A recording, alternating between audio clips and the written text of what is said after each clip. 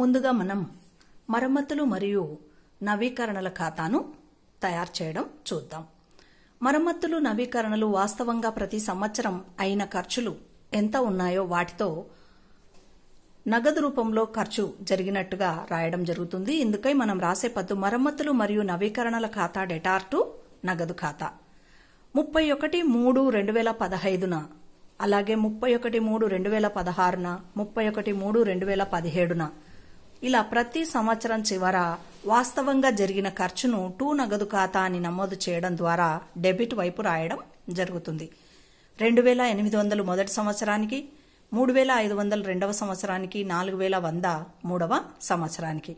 ఇలా ప్రతి సంవత్సరం వాస్తవంగా అయిన ఖర్చును నమోదు చేయడానికి మనం మరమ్మతులు మరియు నవీకరణల ఖాతా డెటార్ టు నగదు ఖాతా అని రాస్తాం. ఇలా నమోదు చేసిన వాస్తవ ఖర్చును ఏర్పాట్ల నుండి తగ్గించేందుకై క్రెడిట్ వైపు దానిని అదే తేదీన నమోదు చేస్తాం. ముప్పై ఒకటి మూడు రెండు వేల పదహైదున బై మరమ్మతులు మరియు నవీకరణలకై ఏర్పాటు ఖాతా.